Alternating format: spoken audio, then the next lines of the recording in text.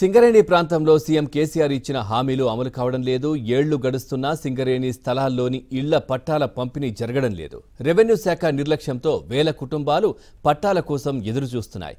ఆరు జిల్లాల్లో విస్తరించి ఉన్న సింగరేణి కార్మికుల ఇళ్ళ పట్టాల ఘోషపై ఏబిఎన్ స్పెషల్ స్టోరీ.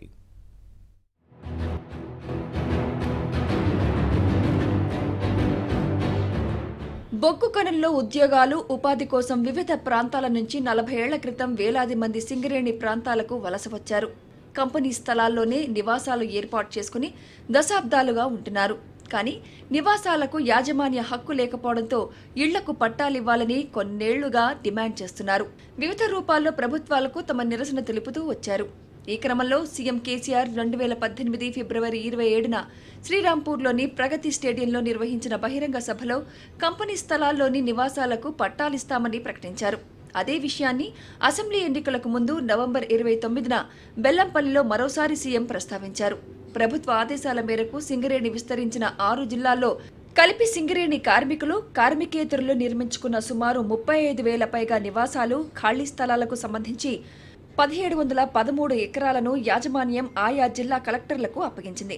రెండు వేల పంతొమ్మిది జూన్లో సింగరేణి స్థలాలకు పట్టాలివ్వాలని ప్రభుత్వం ఆదేశాలు జారీ చేసింది.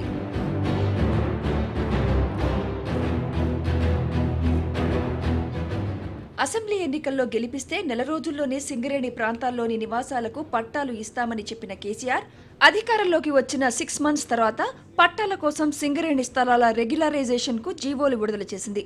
అనంతరం రెవెన్యూ శాఖ సర్వే నిర్వహించింది. పెద్దపల్లి జిల్లాకు సంబంధించి పదిహేను వందల పదకొండు ఇళ్ళు భద్రాద్రి కొత్తగూడెం జిల్లాలో ఎనిమిది వేల పది భూపాలపల్లిలో మూడు వేలు మంచిర్యాల జిల్లాలో ఇరవై ఐదు వేల ఇళ్ళు సింగరేణి స్థలాల్లో ఉన్నట్లు గుర్తించారు. ఈ క్రమంలో రెవెన్యూ మున్సిపల్ సింగరేణి జాయింట్గా చేపట్టిన సర్వే ఇప్పటికీ పూర్తి కాలేదు.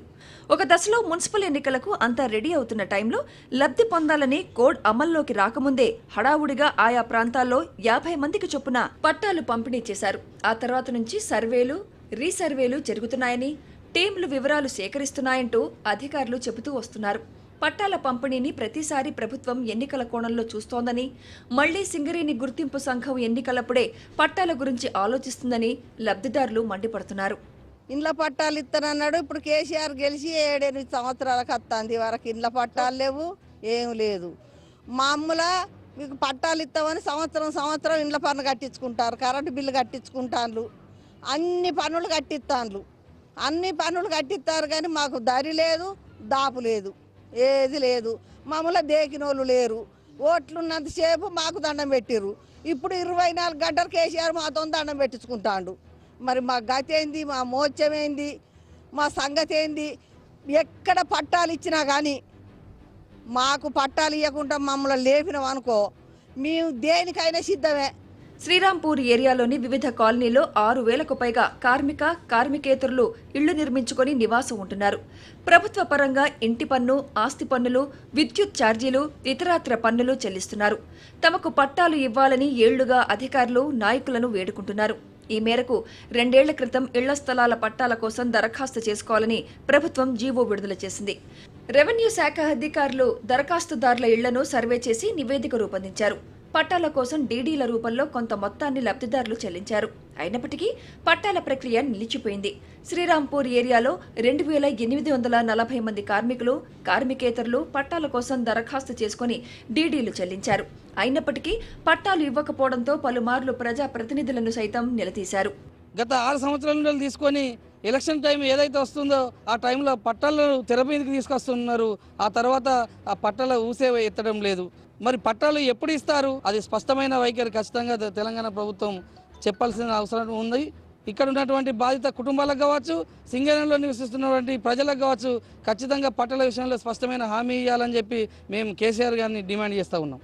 సింగరేణి స్థలాల్లో ముప్పై నుంచి నలభై ఏళ్ళుగా నివాసం ఉంటున్న వారికి జీవో యాభై ఎనిమిది యాభై తొమ్మిది ప్రకారం ఇళ్ళ స్థలాలకు పట్టాలు ఇచ్చేందుకు సిద్ధంగా ఉన్నట్టు అధికారులు చెబుతున్నారు. శ్రీరాంపూర్ ఏరియాలో వివిధ జీవోల ప్రకారం ఇళ్ళ స్థలాలు ఖాళీ స్థలాలు బట్టి గతానికి కొంత మొత్తంలో చెల్లించాలని లబ్ధిదారులకు డిమాండ్ నోటీసులు జారీ చేసి స్వయంగా అందించారు. గత అక్టోబర్ పదకొండులోగా ఒక వాయిదా నవంబర్ పదకొండులోగా రెండో వాయిదా ద్వారా స్థలాల క్రమబద్ధీకరణకు రుసుం చెల్లించాలని డిమాండ్ నోటీసులు జారీ చేశారు. ఈ క్రమంలో శ్రీరాంపూర్లోని Arunakka Nagar RKR Gandhinagar Himmat Nagar water tank area Sangamallayyapalli వాసులు ఏడు వందల మందిని గుర్తించారు. అయితే అధికారులు నేతల మాటలకు పొంతన లేకుండా పోతోందని పట్టాల పంపిణీ విషయంలో స్పష్టమైన ప్రకటన జారీ చేయాలని స్థానికులు డిమాండ్ చేస్తున్నారు. మాకు పట్టాలు ఇస్తామన్నారు పట్టాలు లేవు. ఈ ఇంటి పన్ను కట్టించుకుంటారు నీళ్ళ పన్ను కట్టించుకుంటారు ప్రతి దానికి పన్నులు కడతాను. కానీ మమ్మల్ని మాత్రం ఎవరు పట్టించుకుంటలేరు. మాకు న్యాయం కావాలి. మాకు ఇంత ఇల్లు ఉండడానికి ఇంత నీడ కావాలి. అట్లయితే మేము ఈ నుంచి కదులుతాం లేకపోతే కదలం మొత్తంగా పోరాడి సాధించుకున్న తెలంగాణలోనూ సింగరేణి కార్మికుల ఘోష తీరడం లేదు. ఎన్నో ఏళ్ళుగా నిప్పుల కొలిమిలో పనిచేస్తూ చివరికి సొంతింటి పట్టా కోసం ఎదురు చూడాల్సిన పరిస్థితి. ఎన్నికలు వచ్చిన ప్రతిసారి హామీల వర్షం కురిపిస్తూ ఎన్నికలు ముగిసిన తర్వాత పక్కన పడేస్తున్నారు. త్వరలో మళ్ళీ సింగరేణి గుర్తింపు కార్మిక సంఘం ఎన్నికలు రాబోతున్న నేపథ్యంలో ప్రభుత్వం ఎలాంటి చర్యలు తీసుకుంటుందో వేచి చూడాలి మరి.